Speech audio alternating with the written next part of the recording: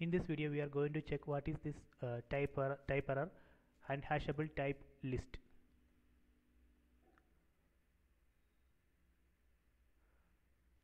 Okay let me create a dictionary d is equal to. Let me uh, add some data into that dictionary. For example uh, name is equal to sum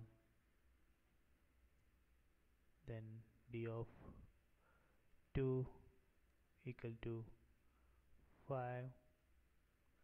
let me check the value items in the dictionary. See. Actually in the dictionary we can use any immutable object as the key. We can uh, use tuple as the key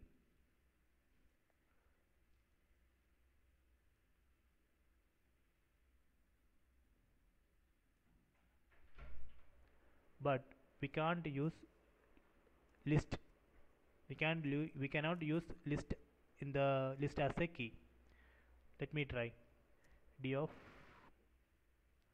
list 1 comma 2 is equal to 9 see when we try to insert a list as a key into a dictionary we will get the error type error unhashable type list.